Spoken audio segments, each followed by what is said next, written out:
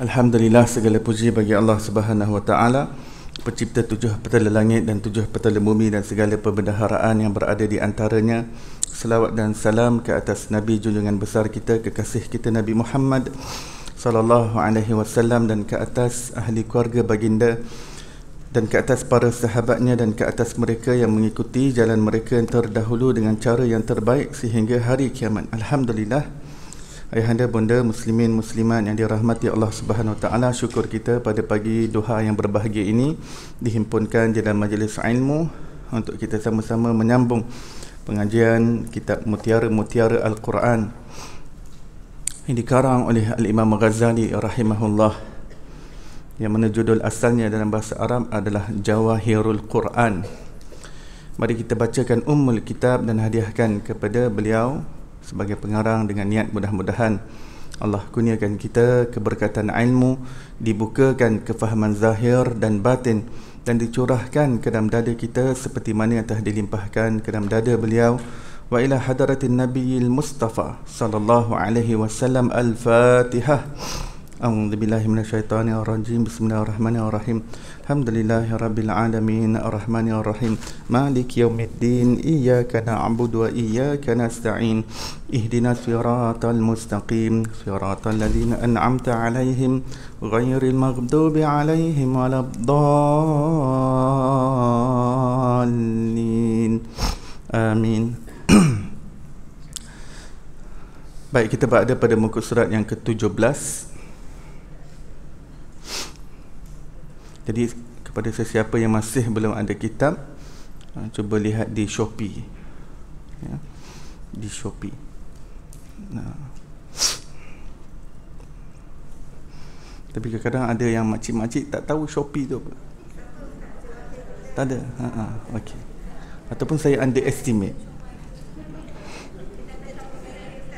Ke makcik-makcik yang sebenarnya lebih pakar dengan Shopee Saya underestimate kot Baik, rasanya ramai yang dah ada kitab insya-Allah. Sejak daripada pengajian yang lepas kita dah ini pengajian yang ketiga ya, kitab mutiara-mutiara Al-Quran. Ini yang terbaik ada kitab lah sebab perbincangan agak berat sedikit. Jika ada kitab di hadapan kita, kita dapat lihat teks demi teks ya, insya-Allah. sebab Imam Ghazali sekarang membincangkan berkenaan dengan ayat-ayat Al-Quran yang membawa kepada ma'rifatullah ya ma'rifatullah. Ha, jadi perbincangannya berat tapi kalau dah faham sebenarnya mudah. Lebih mudah daripada A B C D E ya mengenal Allah itu. Ha, tapi untuk nak permulaan tu ha, dia kena pecah otak dulu. Kena pecah otak dulu kena pening-pening dulu. Ya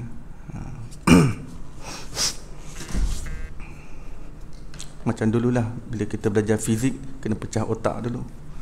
Belajar admath kena pecah otak dulu. Ha? hatta belajar matematik. Matematik biasa pun ya, kena pecah otak dulu.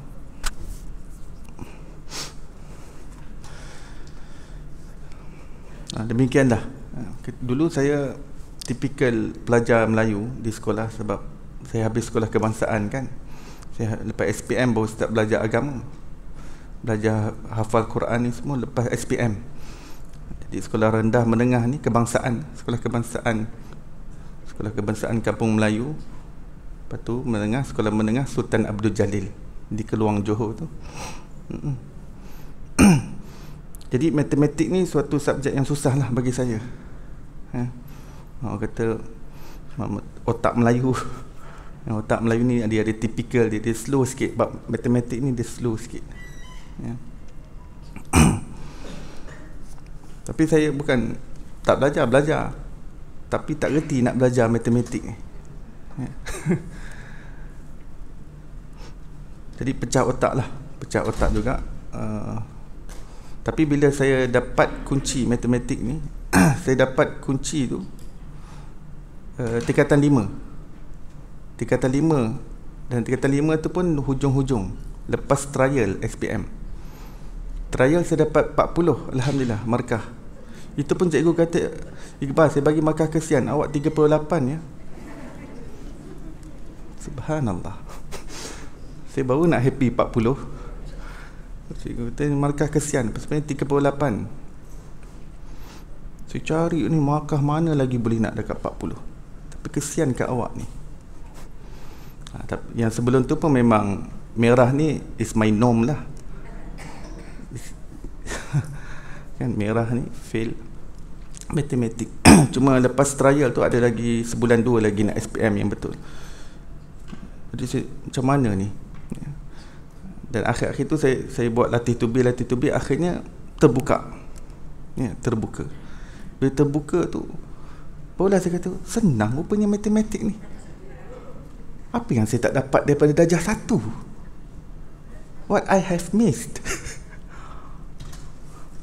Along this while daripada darjah 1 sampai darjah 6 Alhamdulillah. Cuma darjah 6 uh, UPSR matematik dapat C PMR dapat C.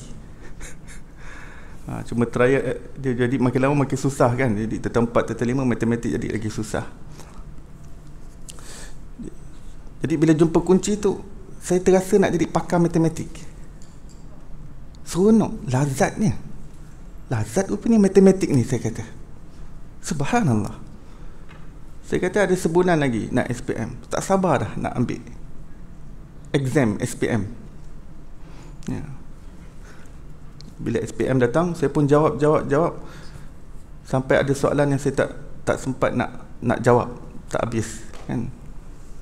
Sebab terlalu details tulis jawapan. Jadi kalau kena jawab katakan di akhir itu subjektif kena jawab 30 soalan saya dapat jawab 25 26 saja. Jadi empat, empat soalan tiga empat soalan terpaksa terlopong. Ya. lepas tu saya keluar ayah saya dah tunggu dah kat luar. Macam mana matematik? Dia kata ada jawab yang ada soalan yang saya tak sempat jawab. Hmm, habis. Ayah saya tak tahu perkembangan saya yang terbaru. Dia ingat saya yang terlepas yang dulu punya jadi bila saya kata tak dapat jawab ada soalan yang lain terlepas kosong jadi beliau ingat habislah. Ya. Tapi saya kata dengan ayah, ayah tapi saya dapat A matematik insya-Allah. Waktu saya jumpa ayah tu, saya kata insya-Allah saya dapat A matematik. Ayah saya pun, hmm, yalah. yalah, layanlah dia layan anak dia. Sure enough, bila exam keluar saya dapat A. Saya dapat A. Eh, suatu yang tak pernah digambarkan sejak daripada darjah satu. Ha, jadi uh, ilmu makrifatullah begitu. Ilmu makrifatullah ni dia punya pendakian dia susah. Kita susah nak faham dia punya formula dia dia punya rumus dia dia punya istilah dia dia punya selok belok dia. Tapi bila kita mula faham lah senang je rupanya. Senang je. Ya ha, ya dia cuma nak kena tackle macam mana cara pandang kita kepada alam ini ya. Bersama dengan penyucian hati lah ya? bersama dengan penyucian hati tazkiyatun nafs a lot of remembrance of Allah Subhanahu Wa Taala ya.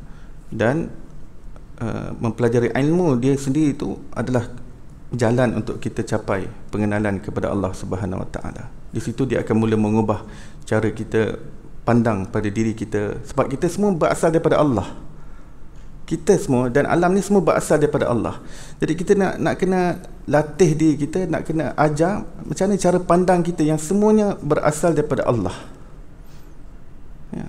Allah ni salah satu namanya adalah the originator. Kita ni semua berorigin daripada Allah Subhanahu Wa Taala. The originator and the generator. Itu salah satu nama Allah Subhanahu wa taala. Al-Badi' Al-Fatir Al-Khaliq Al-Khallaq Al-Bari' the originator and the generator. Al-Qayyum the generator.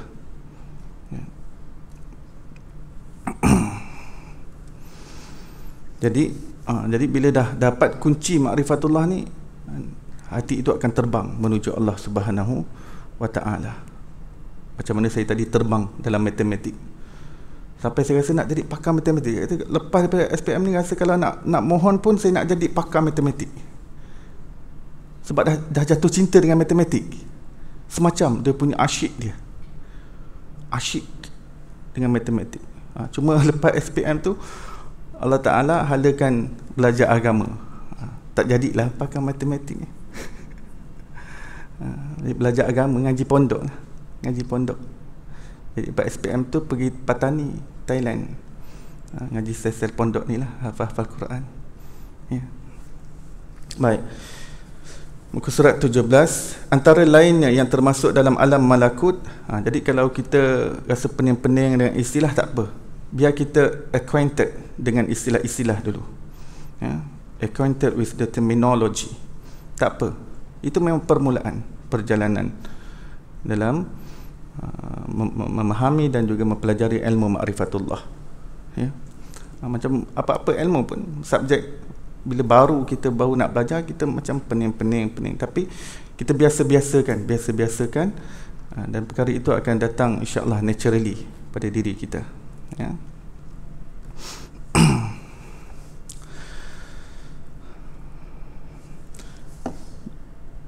Jadi pengajian yang lepas sedikit sedikit uh, sekilas pandang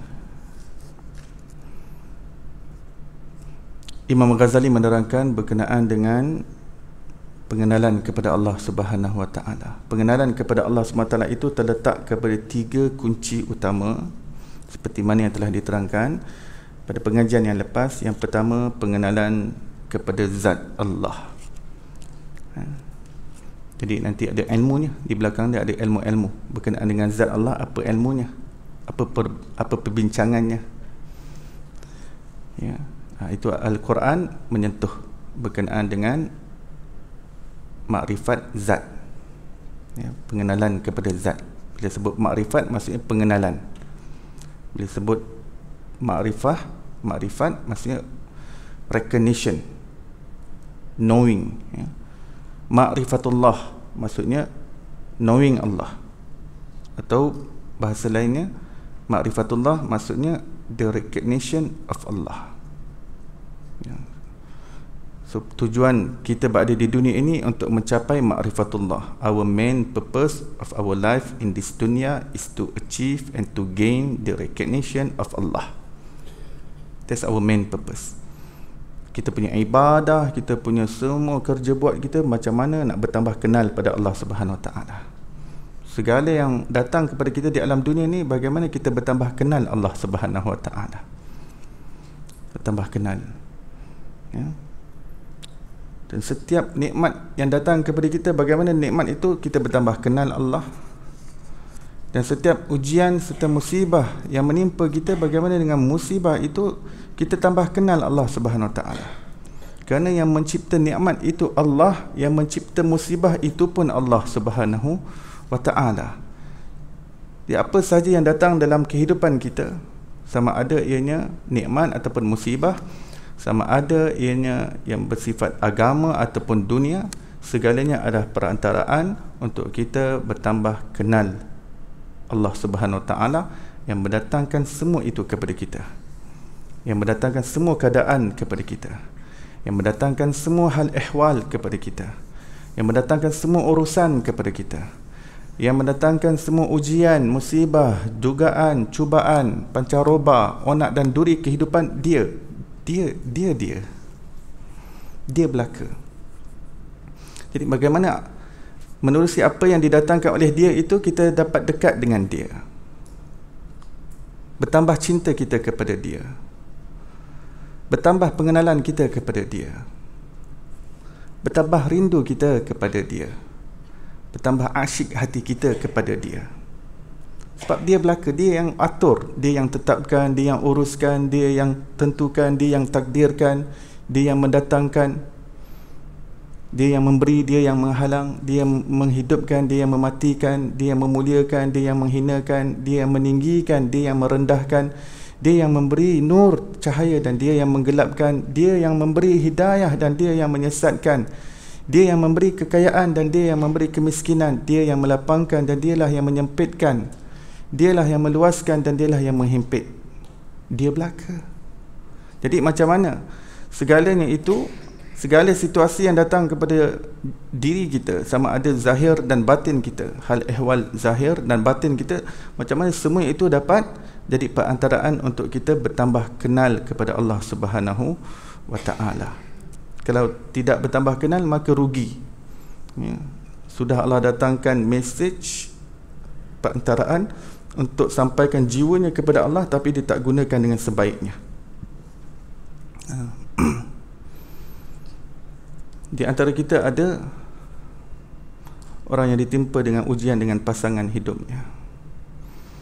Jadi bagaimana kita gunakan pasangan hidup kita itu sebagai perantaraan untuk kita semakin dekat hati kita dengan Allah, semakin bertambah pengenalan kita kepada Allah Subhanahu Wa Taala. Jadi pandangan kita tidak hanya kepada makhluk, pada suami kita itu, pada isteri kita itu semata-mata. Tapi kita lihat segalanya itu adalah manifestasi dan penzahiran yang Allah SWT zahirkan untuk bawa diri kita kepada Allah Taala. Kerana itu Siti Asyah telah mencapai makam yang tinggi di sisi Allah Subhanahu Wa Taala sehingga di hari akhirat beliau akan diperis, akan akan di, di, dikahwinkan dengan Nabi Muhammad sallallahu alaihi wasallam. Siti Asyah. Tapi siapakah suami beliau di dunia ini? Ya. Firaun. Suami beliau bukan maulana, bukan tuan guru, bukan syekh, bukan ustaz nama suaminya Fir'aun dan dia telah menggunakan perantaraan Fir'aun ini untuk meniti makam yang tinggi makam yang tinggi makam yang tinggi di sisi Allah Subhanahu wa taala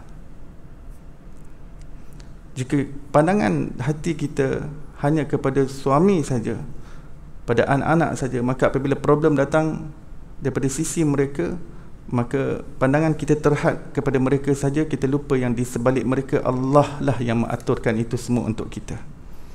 Siti Asyah berjaya melihat Allah aturkan perkahwinan dia jodoh dia dia dengan seorang yang dilaknat oleh Allah Subhanahu Wa Taala. Orang yang dah memang dikutuk oleh oleh Allah. Orang yang mengaku dirinya Tuhan dia menzalimi Bani Israel dan membunuh bayi-bayi dan membunuh ramai lagi manusia lain tapi Siti Asyah telah mempergunakan suaminya ini untuk meniti makam yang tinggi di sisi Allah. Dan dia terpuas senyum ketika akhirnya Fir'aun membunuh dia. Diangkat saja anak panah, senyum. Tersenyum indah Siti Asyah. Puas. Melalui kehidupan yang singkat begini, dapat sabar dengan suami yang macam ni dan dapat makam yang tinggi di sisi Allah, puas. Satisfied that is the real satisfaction lazat merasa lazat ya.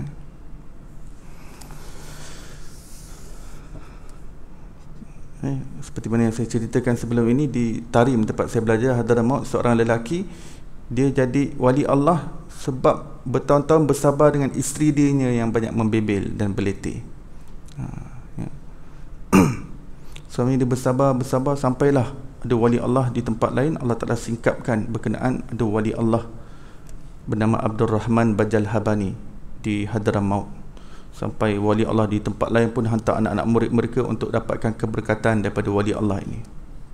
Suruh mereka berkelana untuk bertawasul dengan wali Allah ini. Dan dia sendiri tidak tahu yang dia wali Allah. Apabila namanya rupanya Allah dah singkapkan di hati wali-wali Allah yang lain dia baru tahu dia wali Allah. Dan apabila berjumpa dengan anak-anak murid yang dihantar oleh wali-wali Allah yang lain mengatakan apa agaknya uh, apa rahsia kamu mencapai makam ini? Dia kata saya tak ada apa-apa saya biasa-biasa je. Saya buat yang fardu-fardu je tapi apa amalan yang rasanya istimewa? Tak ada apa-apa cuma saya saya bersabar dengan isteri saya ya, selama ni. Saya hanya bersabar dia kuat berletih. Pagi, petang, siang, malam Pop pet Pop pet Pop pet Pop pet. Saya sabar je. Sabar je lah. Saya tak melawan Saya tak herdik dia balik Saya tak tengking dia balik Saya tak tinggi suara balik Saya sabar je.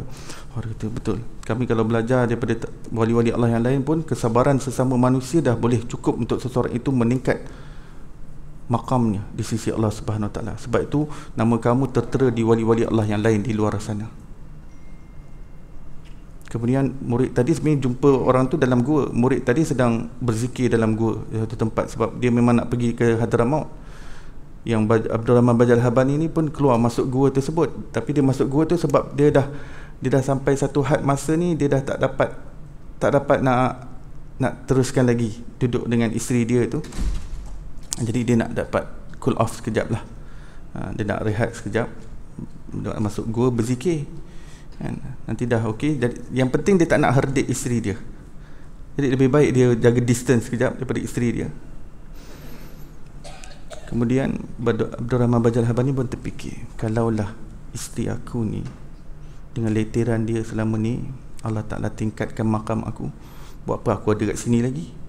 Baik aku balik bersabar je dengan dia. Lepas tu dia pun bagi tahu pada murid tadi. Dia kata ya tak ya. Ya kalau itu aturan Allah untukmu ah, sebab setiap daripada kita perjalanan rohani kita berbeza-beza ya. Ada orang yang menjadi wali Allah sebab rumah dia asyik ditimpa dengan banjir banjir banjir. Dia sabar sabar sabar dia jadi wali Allah. Ya jadi berbeza berbeza. Ha. ada orang diuji dengan suami ada orang diuji diuji dengan isteri ada orang diuji dengan anak. Masing-masing perjalanan berbeza-beza menuju Allah. Jadi dia pun balik. Balik rumah. Ya. Assalamualaikum. Dah berapa hari tak balik Waktu tu musim sejuk. Ha, Di Hadramaut ni memang kalau oh, musim sejuk, sejuk betul. Dia ada winter, dia ada summer.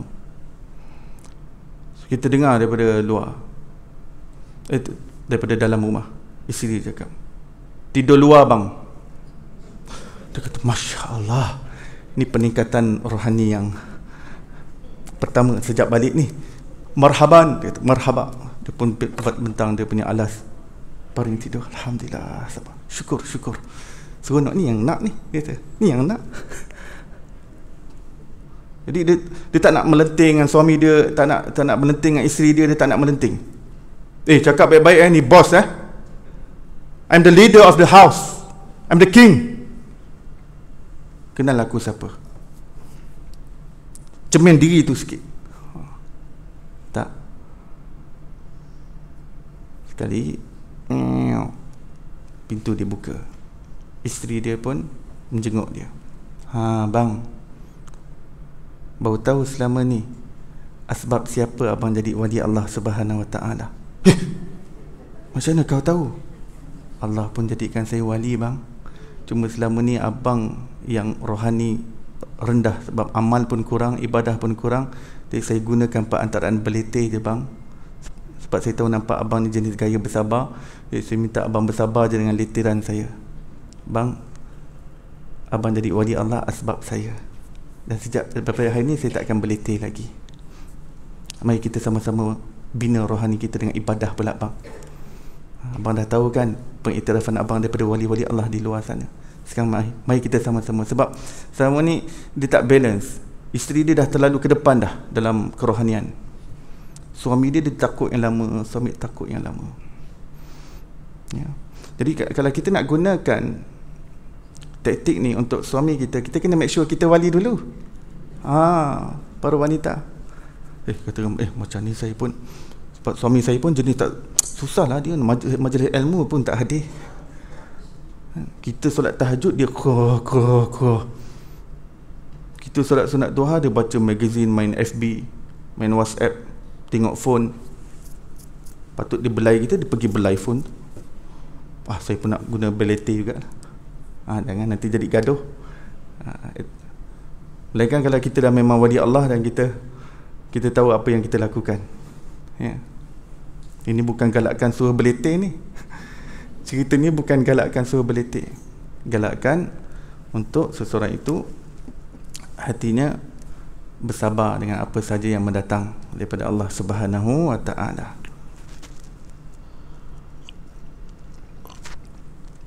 Itu yang pertama makrifat kepada zat, yang kedua makrifat kepada sifat-sifat Allah Subhanahu wa taala.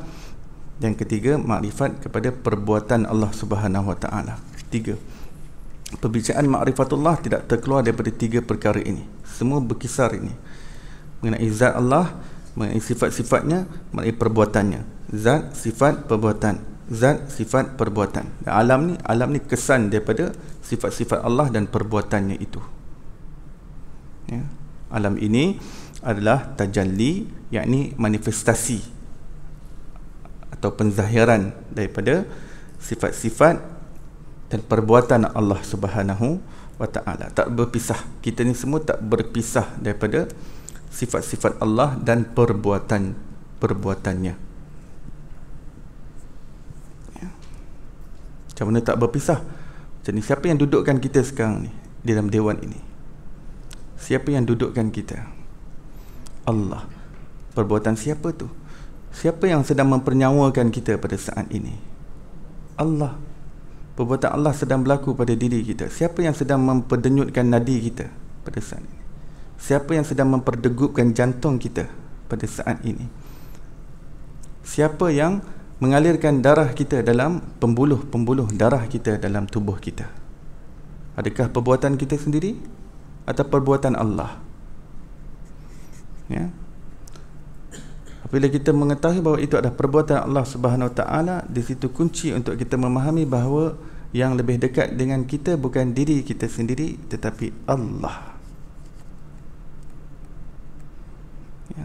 Apabila kita mengetahui bahawa yang menyebab yang mendegupkan jantung kita dan mengalirkan darah kita, yang memfungsikan setiap daripada organ-organ kita dan yang memperdenyutkan nadi kita bukan diri kita sendiri tapi Allah bukan perbuatan kita tapi perbuatan Allah maka di situ cukup untuk kita memahami bahawa yang lebih dekat dengan kita adalah bukan diri kita tetapi Allah Allah lebih hampir kepada kita lebih dekat daripada diri kita kepada diri kita sendiri. Ya. sehingga hati kita merasakan kedekatan Allah itu. Ha, itu yang kita nak sampai. Setiap masa, setiap detik kita merasakan kedekatan Allah Merasakan kehampiran Allah Merasakan kebersamaan Allah Merasakan perdampingan Allah yang tak pernah terpisah pun. Allah teman setia kita Tak pernah terpisah.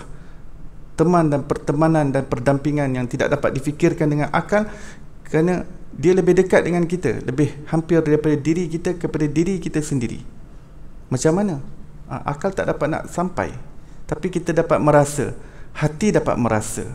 Makrifat ni bagaimana hati itu dapat merasa? Jadi di deria batin kita tu diaktifkan ya deria rohani kita itu diaktifkan merasakan pengliputan Allah Subhanahu wa taala ya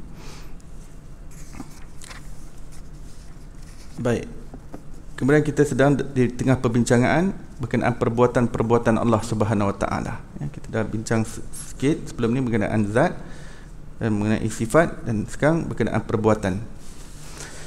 Antara lainnya yang termasuk dalam alam malakut.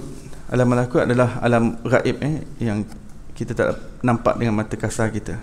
Alam adalah para malaikat yang ditugaskan di bumi yang diwakilkan untuk menjaga bani manusia. Ini menjaga manusia lah, keturunan manusia yang merupakan makhluk yang sujud kepada Nabi Adam alaihi salam.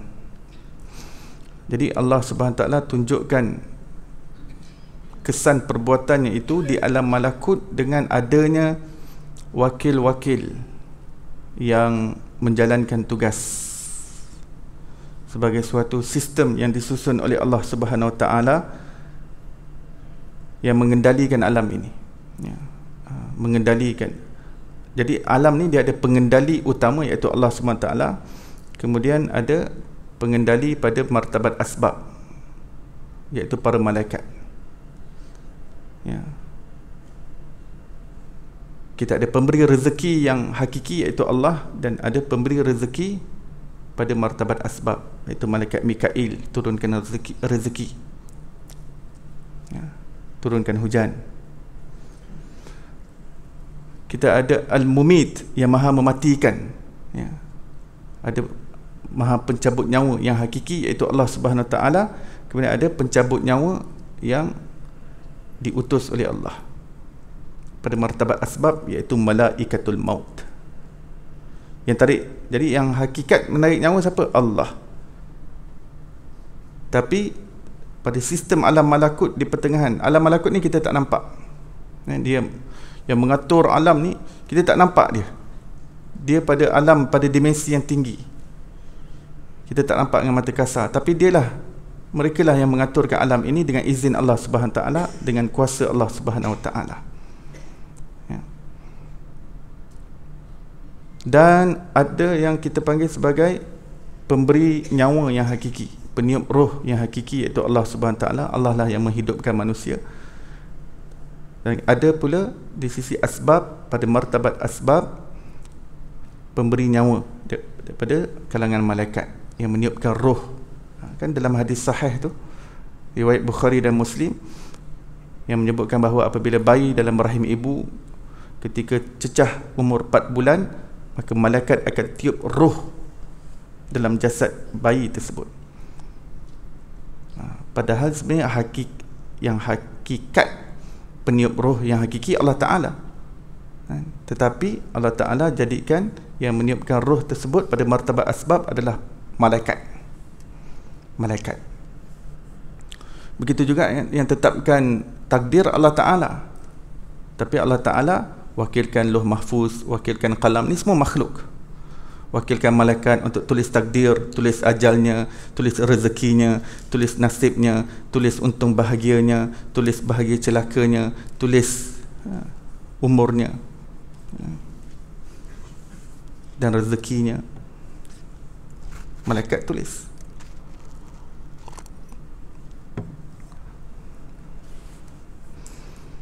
Jadi di alam malakut itu ada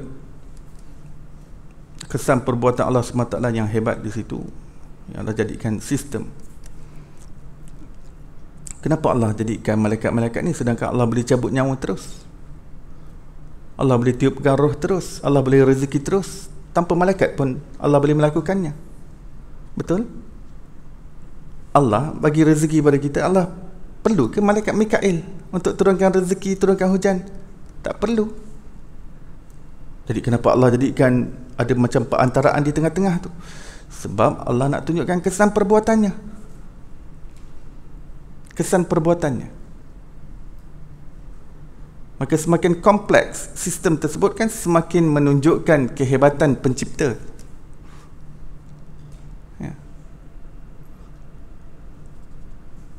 Makin kompleks kan? Contoh cabut nyawa Allah tak perlu malaikat maut. Malaikat Israel datang memanggil. Tak perlu. Untuk cabut nyawa kita. Allah boleh tarik seluruh nyawa manusia seluruh nyawa semut-semut semua nyamuk-nyamuk lalat tanpa perantaraan. Ah, tetapi dalam kitab At-Tazkirah iaitu rahsia kematian Imam Qurtubi meriwayatkan bahawa kutu-kutu pun malaikat maut yang tarik nyawa dia sampai kutu sampai nyamuk pun Allah Ta'ala wakilkan malaikat maut untuk tarik. Ini bukan bermakna Allah berhajat kepada pembantu Allah perlu kepada penolong. Tidak. Tapi Allah ingin menzahirkan sistem. Dengan sistem kita nampak kecantikan, keindahan dan kesempurnaan. Ya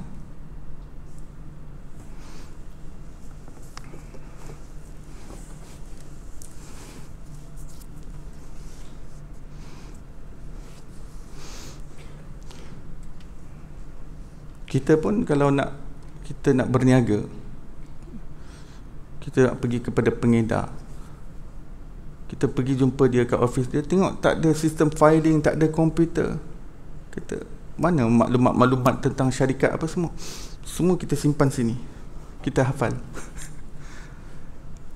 Kalau gitu saya tak nak lah deal dengan awak. Awak tak ada sistem filing? Syarikat kan tak ada sistem filing dia sama ada secara zahir ataupun batin yakni secara soft copy ataupun secara hard copy. Kita tak nak berurusan orang macam ni. Terbalik kongkang nanti kita suruh buat bangunan dia jadi bangunan sengit. Kita ni yang duduk dalam rumah ni pun kalau resit-resit kita bil-bil kita tak ada sistem filing pening kita nanti. Pening kita. Tak tak nampak cantik sistem tu. Ya. bila nak cari resit dah mula mana resit kan?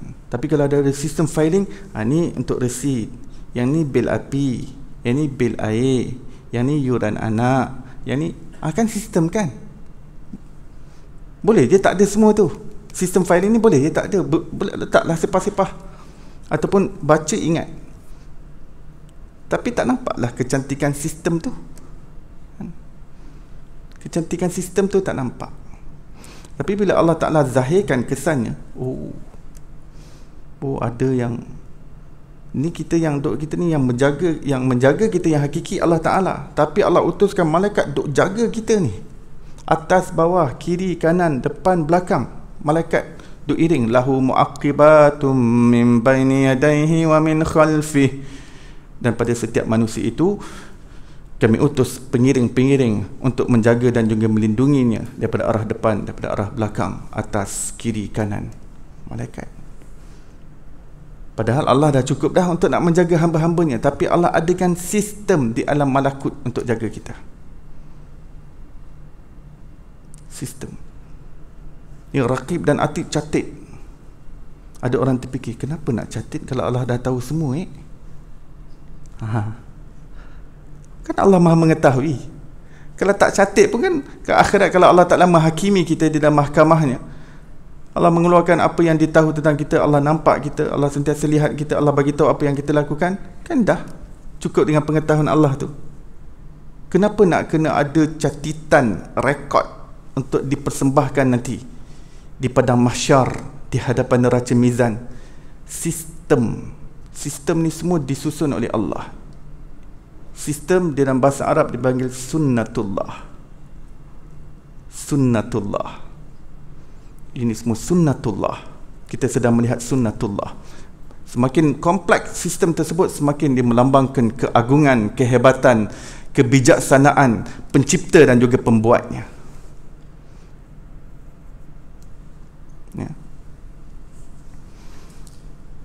macam inilah kita nak hidup ni Allah tak perlukan pankreas kita jantung kita untuk kita hidup untuk kita nak bernafas ni Allah tak perlukan Allah boleh jadikan kita bernafas tanpa ada jantung, tanpa ada paru-paru, tanpa ada esophagus, tanpa ada apa saja organ di dalam abdomen kita. Allah Maha melakukan. Betul? Allah perlukan ke jantung untuk nak mempernyawakan kita? Allah tak perlu. Tapi kenapa Allah SWT jadikan sistem yang kompleks dalam badan kita ni? Sangat kompleks sampai memeningkan saintis. Beberapa tahun yang lalu saintis di Jerman telah menghabiskan masa 25 tahun untuk mengkaji satu sel. Dalam diri kita ni ada berjuta-juta sel. Mereka ambil satu jenis sel. Ada dalam badan manusia bernama beta cell mereka habiskan 25 tahun dan telah menghabiskan jutaan dolar untuk nak mengkaji satu jenis sel dalam badan manusia yang bernama beta cell conclusion yang mereka dapat setelah kajian begitu lama mengatakan kami tidak dapat secara fully secara wholly memahami fungsi sebenar beta cell kami hanya dapat mengungkap sedikit sahaja apa maklumat yang terdapat dalam beta cell selain daripada itu kami tak dapat mampu mengkaji lebih lagi. Satu beta cell pun tak mampu ini kan lagi Allah ciptakan kompleks badan kita. Dengan ada usus dengan ada appendix dengan ada hempedu dengan ada subhanallah sistem ni ni apa ni rings eh macam mana tempat udara tempat tempat makanan kan? Tempat laluan makanan lain tempat udara lain apa jadi kalau makanan masuk ke dalam rings tempat tempat udara tersebut kita terbatuk sistem Allah Taala cipta. Ya. Semakin kompleks sistem tersebut semakin kita melihat kebesaran penciptanya. Subhanallah. Jadi Allah tak jadikan benda tu straightforward. Tak jadikan benda tu simple. Ha, tak jadikan benda tu secara simplistik. Tapi Allah jadikan penuh dengan kompleksiti alam ni dengan kompleksiti tumbuhan daun pun kalau kita nak kaji satu daun pun tak, tak habis nak kaji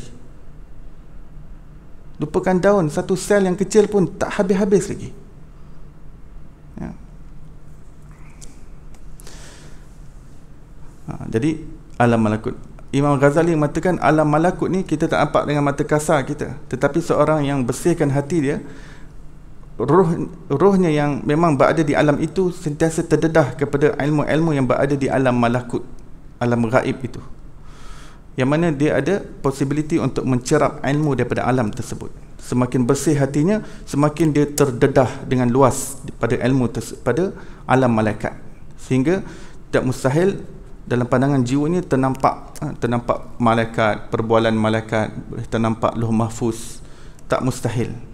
Ya, dia boleh menembus pada alam yang tinggi. Kerana Imam Ghazali tekankan diri kita ini terdiri daripada dua aspek yang utama. Satu zahir dan satu batin. Yang zahir ini anggota badan kita ini panca indera kita ini. Yang ini dia mencerap ilmu-ilmu yang ada pada alam nyata ini. Ya, dia terdedah kepada alam nyata lalu dia ada possibility untuk menangkap ilmu-ilmu yang berada pada alam nyata. Aspek yang lain yang hebat pada diri kita adalah aspek batin. Aspek batin kita itu terdiri daripada roh keberadaan roh bukan berada di alam nyata ini. Dia berada pada alam yang tinggi. Seperti mana kita faham alam malakut tadi tempat para malaikat ia pada alam yang tinggi. Kita tak nampak. Dia bukan alam dunia ni. Allah boleh iringkan malaikat rakib dan atik sebelah kita dalam keadaan mereka bukan berada di alam dunia. Mereka iring kita duk kiri kanan kita duk catat kejahatan kita dan kebaikan kita. Dalam keadaan mereka berada pada alamnya. Alamnya yang tinggi. Kita tak nampak dia kita dah umur 40 tahun, 50 tahun, 60 tahun ada di antara kita dah cecah 70 tahun. Kita tak pernah tak pernah nampak pun. Eh, tak biasa kelih. Malaikat rakit atik ni. Tak biasa kelih. Tak biasa, tak biasa nampak. Ke pernah nampak?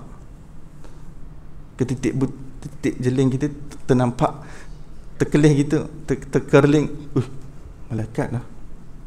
Sebelah. Tak pernah. Sebab dia pada alam yang tinggi. Itulah roh, roh kita itu pada alam malaikat. Roh kita yang sedang kontak dengan jasad kita ni, dia berada pada alam yang lain. Ya, dia berada pada alam yang lain. Dan oleh kerana roh kita itu berada pada alam yang lain, alam yang tinggi, maka ia sentiasa terdedah kepada ilmu-ilmu di alam itu. Tetapi ilmu itu tertutup baginya jika hatinya kotor di dunia ini jika dia tidak menurunkan ego dia di dunia ini dia mengikut nafsu kebinatangan dan juga syahwat yang semata-mata di dunia ini gelap hatinya dengan sifat angkuh sifat sombong akhlak yang buruk dan sebagainya banyak lalai banyak alpa banyak ghaflah kepada Allah tertutupnya hati itu bermakna roh itu pun tak dapat nak mengembara di alam sana untuk mendapatkan ilmu di alam sana. Ya. Jadi Imam Ghazali memang tekankan penyucian hati. Ya, penyucian hatilah yang menyebabkan manusia dapat menggapai ilmu-ilmu yang hebat di alam sana. Sudah tentu Imam Ghazali, Ghazali sudah mencapainya. Kan? Imam Ghazali telah meninggalkan uh, kesenangan hidupnya dan duduk bersuluk selama berpuluh tahun kan? Kita tahu beliau berasal daripada Parsi. Meninggalkan Parsi bersuluk di sebuah masjid Umayyah. Di antara kita ada sudah sampai Syria. Di Syria ada masjid Umayyah. Di situ ada tempat suluk tempat tempat Imam Ghazali bersendiri. Selama beliau tulis Ihya Ulumuddin di situ. Kitab-kitab yang hebat. Di situ. Dan kita dapat lihat mutiara-mutiara ilmu. Imam Ghazali lain daripada yang lain. Sebab tu nama beliau sentiasa diangkat oleh ulama Islam sebab ilmu beliau. Beliau mendapatkan tarbiyah daripada mursyid daripada murabbi dan beliau menyucikan hati. Dan beliau telah uh, Allah Taala Allah Taala telah anugerahkan beliau jiwanya meneroka ke alam yang tinggi. Dan beliau sentiasa sebut banyak perkara yang tak dapat nak disebutkan di alam sana. Tetapi sekelumit berkenaannya aku kongsikan di dalam kitabku ini untuk diberi hidu kepada umat Islam supaya apabila mereka mendapat aroma ini timbul semangat dan juga gemar dalam jiwa mereka untuk mencapai hakikatnya. Supaya diberi bau aroma kelazatan ma'rifatullah sekelumit ma'rifatullah itu harumnya sedapnya kalau dapat capai hakikatnya ya Baik, antara lainnya juga ada syaitan-syaitan yang berusaha menguasai bani manusia. Jadi ada pula di alam sana pun kita tak nampak alam malakut sana. Ada lapisan alam malakut ni banyak lapisan ya. Dia bukan satu lapisan saja. Alam walaupun alam malakut ni alam gaib daripada mata pandangan pasal kita tapi alam sana tu berlapis-lapis. Macam alam nyata ni pun berlapis-lapis. Satu yang berjasad ada yang cecair ada yang jenis swab ada yang jenis nanti mikroorganism ada jenis cahaya jenis foton proton elektron neutron atom dan pelbagai. Pun kan banyak lapisan di alam nyata ni pun. Cahaya pun banyak banyak banyak lapisan. Ada dipanggil x-ray ada dipanggil x-x-ray ada dipanggil sebagai infrared ada dipanggil sebagai ultraviolet ada dipanggil sebagai laser dan laser pula berlapis-lapis ada dipanggil sebagai cahaya matahari ada dipanggil sebagai cahaya mata dan sebagainya. Di alam nyata kalau sudah berlapis-lapis begitu juga di alam malakut berlapis-lapis. Jadi ada ada lapisan ni syaitan-syaitan jin duduk di situ tapi kita tak nampak dia. Dan dia pula tak nampak malaikat. Jin dan syaitan tak nampak malaikat. Sebab alam malaikat tu lebih tinggi lagi. Alam malaikat tu lapisannya lebih tinggi dimensinya lebih tinggi berbanding di mana alam syaitan berada. Jadi contohnya dalam dewan ini di balik sana mempunyai lapisan alam yang lain yang kita tak nampak. Di dewan kita ini di balik sana ada alam lain. Di balik alam tu ada alam yang lain. Di balik alam tu ada alam yang lain. Jadi setiap manusia ni yang sekurang-kurangnya diapit oleh rakib dan atid. Sebenarnya banyak lagi malaikat yang mengiringi kita. Sebenarnya setiap orang manusia tak silap ulama kata sekurang-kurangnya 20 malaikat untuk iring dia. Yang utama sekali yang pengapit tengah ni macam sekretari tulis manusia kan VIP atas dunia ni. VIP kan ada pencatat tulis. Kan? wartawan sekretari yang tulis. Allah Ta'ala tugaskan malaikat rakib dan atib tulis. Allah tak perlukan buku rekod tu tapi Allah nak dah jadikan sistem. Nanti di hari akhirat pun dibentangkan rekod. Ah ni rekod kamu. This is your report card this is your report card this is your report card and it's enough for you today to read it kafa binafsika al-yawma alayka hasiba. Read yourself. This is your report card. Read read and read. Manusia ambil beratus tahun. Sebab apa? La yughadiru saghiratan wala kabiratan illa ahsaha ووجدوا ما عملوا حاضرا ولا يظلم ربك أحدا tidak sikit pun tertinggal semua melainkan semuanya dicatat oleh malaikat tidak ada perkara kecil ataupun perkara besar melainkan semuanya direkodkan Iqra kitabak dan di hari akhirat apabila manusia dibangkitkan ini report kad kamu baca baca sekarang baca Kenapa ada report card sedangkan Allah dah maha mengetahui segala-galanya? Sistem. Sebab semakin ada sistem semakin kita nampak kesan perbuatan Allah. Sebab ya, kan kita sedang cerita tentang perbuatan Allah. Sistem dia kesan perbuatan Allah, kesan perbuatan Allah. Segala kompleksiti yang berada di dunia ini, baik alam nyata dan juga alam gaib, semuanya kesan perbuatan Allah maka semakin kompleks alam itu Allah ciptakan semakin menggambarkan dan semakin menunjukkan kepada kehebatan Allah keagungan Allah kesempurnaan Allah kebijaksanaan Allah kekuatan Allah kemahapengetahuan Allah Subhanahu wa taala. Ya. jadi jin dan syaitan tak nampak malaikat. Kita tak nampak jin syaitan jin syaitan tak nampak malaikat. Malaikat tak nampak malaikat yang pada alam yang tinggi lagi malaikat terbahagi kepada sekurang-kurangnya dua. Kan? malaikat pada alam yang rendah dan malaikat pada alam yang tinggi. Malaikat pun tak sama kedudukan mereka. Ada malaikat yang kedudukan tinggi dipanggil sebagai al-malaul a'la. Roh-roh orang mukmin apabila bersih hatinya dia boleh bersama dengan malaikat malaul a'la. Bukan sekadar malaikat-malaikat pada alam yang rendah alam malakut yang rendah tapi alam malakut yang tinggi dipanggil al malaul a'la. Kita dapat lihat roh kita boleh kontak dengan para malaikat. Ya. dan sebenarnya Imam Ghazali kata jangan heran bila sebut roh kita boleh kontak pada alam yang tinggi. Kerana Allah bagi kita simboliknya dalam mimpi kita. Imam Ghazali fahamkan kita bahawa apa yang berlaku dalam mimpi itu adalah imbasan yang Allah SWT berikan kepada kita bahawa apa yang kita alami dalam mimpi itu adalah pengalaman roh kita. Sampai roh kita boleh jumpa arwah mak kita betul? Boleh jumpa arwah ayah kita betul? Arwah nenek kita. Ataupun bukan arwah orang yang masih hidup kita boleh berjumpa roh kita. Jumpa Habib Omar bin Hafiz hmm? jumpa Habib Ali Al-Jufri. Roh kita mimpi berjumpa dengan Syekh Ali Jumaah. Roh kita bermimpi berjumpa dengan Al-Habib Ali Zainal Abidin Al-Hamid ada di antara kita dalam mimpinya rohnya berjumpa dengan Syekh Zainul Asri. Ada mimpinya berjumpa dengan Syekh ini, Syekh itu.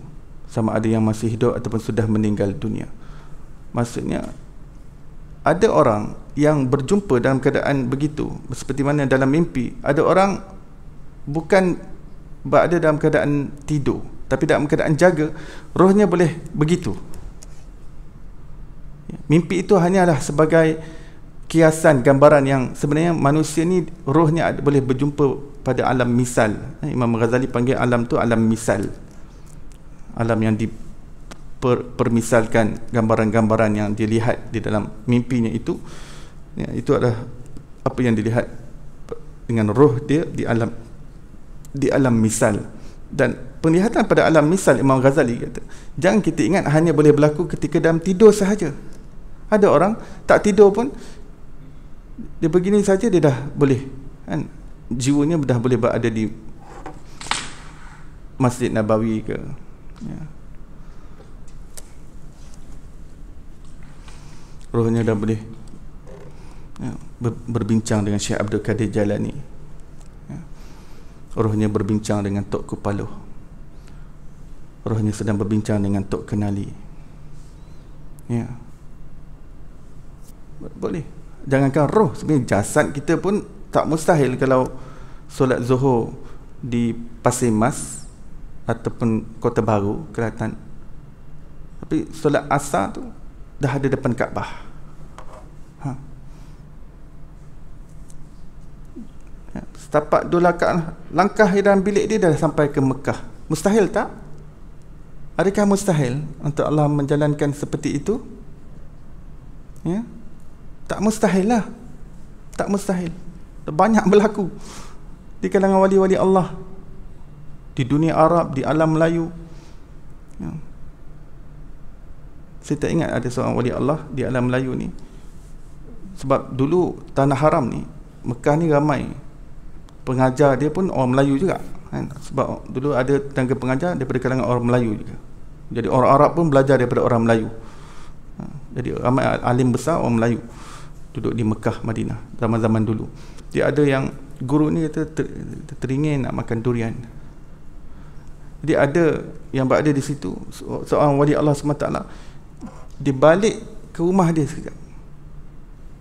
Jadi ambil durian dia patah balik belah bagi pada guru dia. Ya. Dan berapa langkah je dia masuk dalam bilik dia terus tubik keluar dekat rumah dia kat Kelantan tu. Wali Allah daripada Kelantan. Ratusan tahun yang lalu. Patah balik jadi bila beliau dah habis di Mekah urusannya tu, balik ke rumah, cerita balik. Dia kata, ha, keluarga dia kata, memang waktu tu kita tengah bincang-bincang tak tahu macam mana boleh durian ni hilang. Oh, ab abah ambil rupanya. memang pening-pening dia mana mana boleh hilang ada pencuri masuk ke apa ni. Oh, jelah hari itulah hari tu sama. Ha, ni bukan saja berlaku di alam Melayu.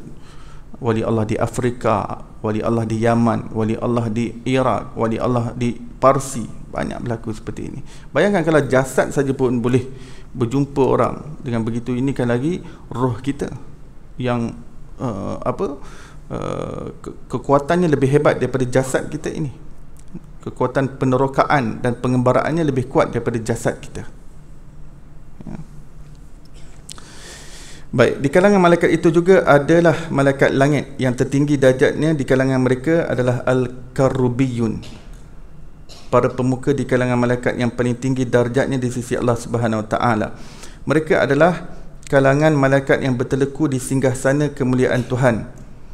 Tiada berpaling mereka kepada sekalian anak Adam, bahkan tiada berpaling mereka itu kepada selain Allah Taala kerana tenggelamnya mereka dengan keindahan hadrat ketuhanan dan keagungannya. Hadrat ketuhanan maksudnya melihat kehebatan singgahsana Allah, kerajaan Allah.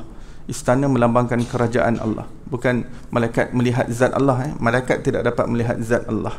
Hatta malaikat Jibril yang merupakan penghulu segala malaikat tidak dapat melihat Allah. Nikmat melihat Allah Allah hanya beri kepada siapa yang berjaya masuk ke dalam syurga sahaja sebagai kemuncak nikmat. Jadi sepanjang sebelum ke, masuk syurga tidak ada siapa yang dapat melihat Allah. Hatta ketika Allah menghakimi manusia di pada masyar, tak ada siapa yang melihat Allah kecuali Nabi Muhammad sallallahu alaihi wasallam. Nabi Muhammad SAW sahaja satu-satunya makhluk yang dapat melihat Allah di yang uh, dalam keadaan bukan berada di dalam syurga Allah. Selain daripada Nabi sallallahu alaihi wasallam, baik para nabi-nabi, baik para rasul, baik para sahabat dan juga para aulia para ulama, para salihin, para syuhada, para muslimin, para mukminin, para mukminat, para muslimat, semuanya hanya dapat melihat Allah hanya di dalam syurga Allah. Bukan bermakna Allah bertempat di dalam syurga, akan tetapi mereka diizinkan Allah untuk melihat Allah di dalam syurga.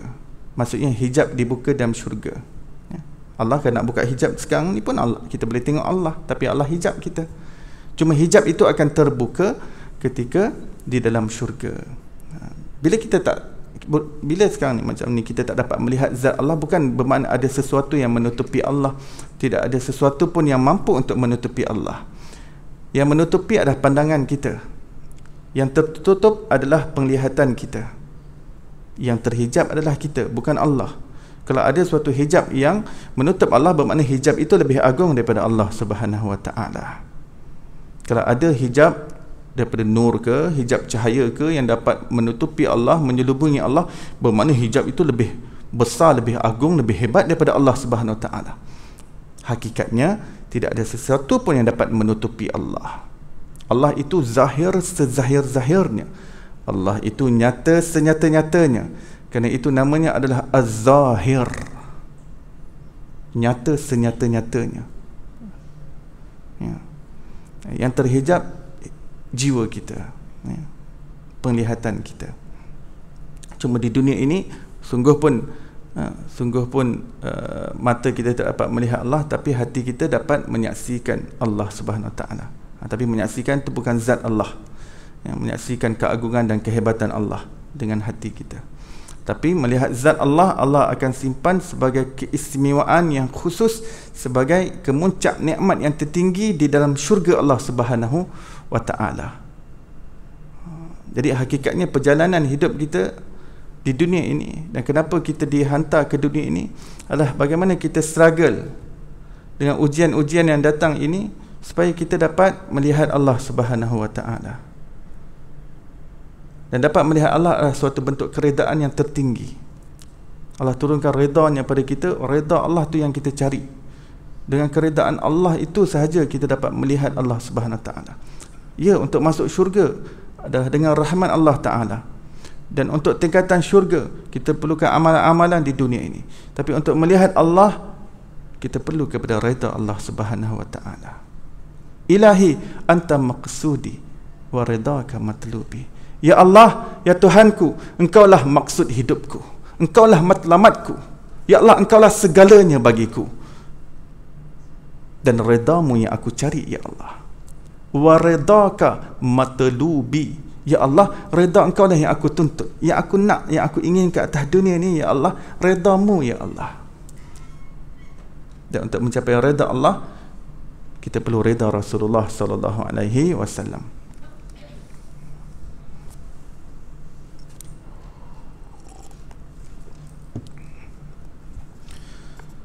Maka mereka hanya menumpukan sepenuh pandangan mereka kepada Allah mensucikannya. Yakni bertasbih dan siang dan malam hari tanpa sengkang dan putus Tidaklah jauh untuk digambarkan bahawa wujudnya hamba-hamba Allah yang tenggelam dan disibukkan oleh keagungan Allah dan keindahannya dari berpaling kepada Bani Adam dan zuriat-zuriatnya. Begitu sekali kerana tidak memandang dan memuliakan Bani Adam. Jadi ada jenis malaikat yang dia tak dikena mengena dengan peraturan aturan dunia ni, aturan manusia. Ya. Aturan manusia. Ada malaikat yang tak dikena mengena tugasnya mengagungkan Allah Subhanahu taala. Ha tugasnya hanya memandang keagungan Allah dan memuji Allah Subhanahu taala. Tapi ada ada jenis malaikat yang memang hands on dengan manusia. Hands on.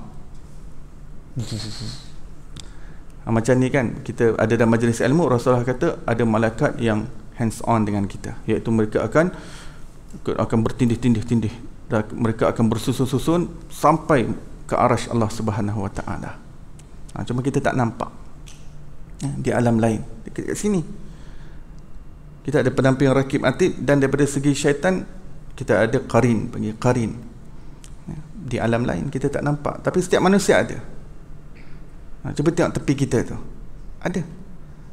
Qarin. Cuma di alam lain jadi kita tak perlulah awak duduk sana sikit. Kenapa? Ni nak bagi qarin saya ni rakib atid ada ni kasih kasih dia lega sikit lah Eh jangan duduk rapat-rapat sangat ni nanti karin saya tak ada tempat pula nak duduk. tak adalah, tak ada macam tu sebab dia alam lain. Duduk hempit, sempit, berkepit macam mana pun, berhimpit-himpit macam mana pun manusia, dia tetap ada ruang untuk dia juga.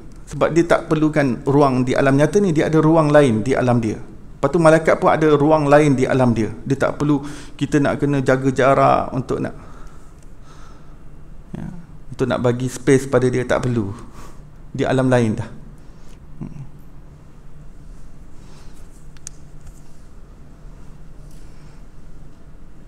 Rasulullah SAW pernah bersabda sesungguhnya bagi Allah SWT Allah sesungguhnya bagi Allah Taala itu maksudnya Allah memiliki satu tanah yang mana perjalanan matahari di dalamnya adalah 30 hari ia seumpama hari-hari dunia adalah bersamaan 30 kali perjalanan dikirimkan di dalamnya suatu makhluk yang tidak mengetahui bahawa sesungguhnya Allah Ta'ala telah dimaksiati di bumi dan tidak mengetahui bahawa Allah Ta'ala telah menciptakan Bani Adam dan Iblis.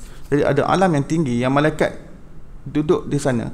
Yang malaikat tu pun tak pernah tahu tentang ada keberadaan manusia di dunia ni.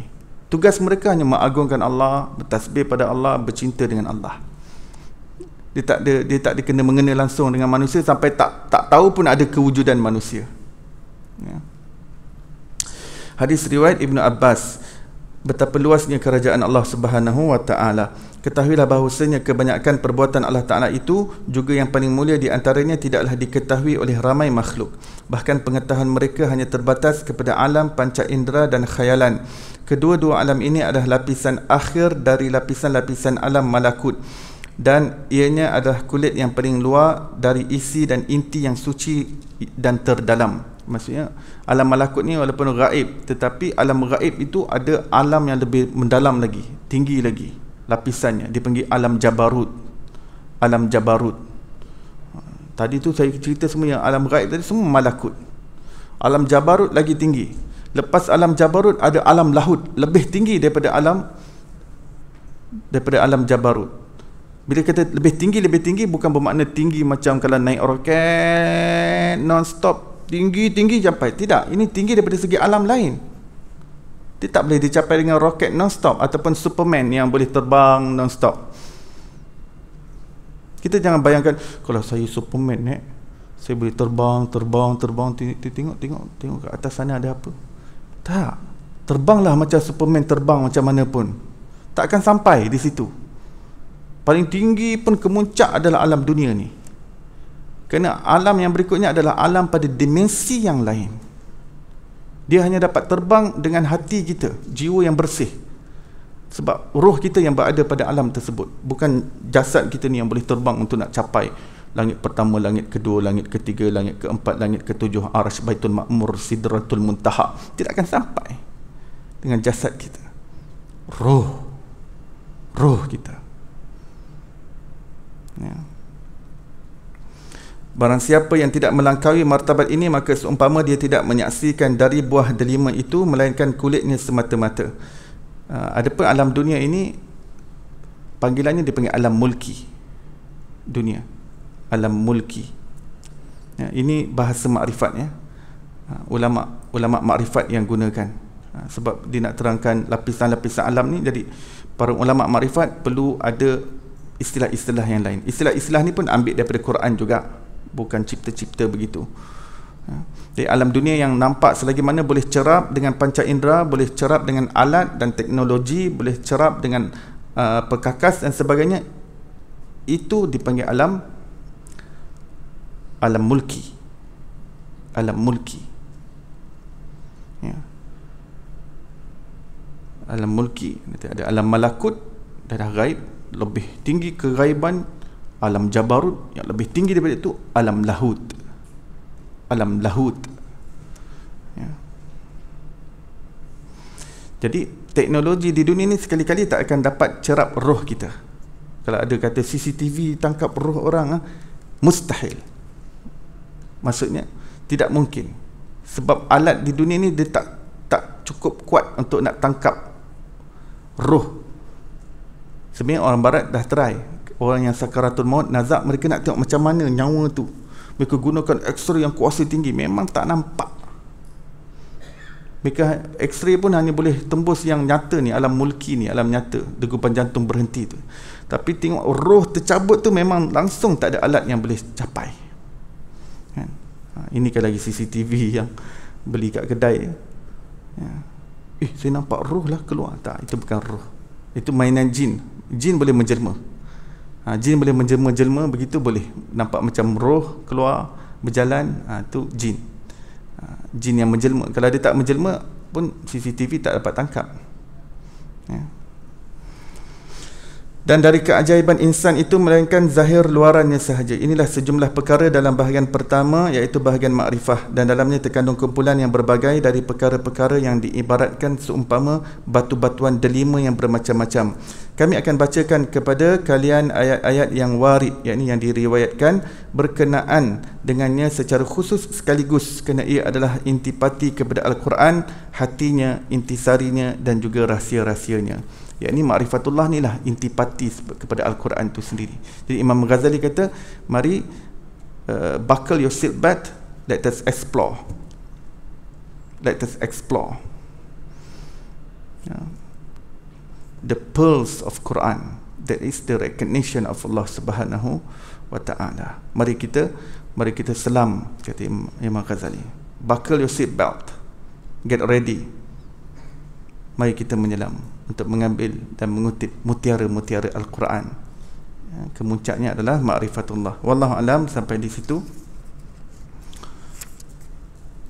Insya-Allah kita akan sambung pada pengajian yang akan datang insya-Allah.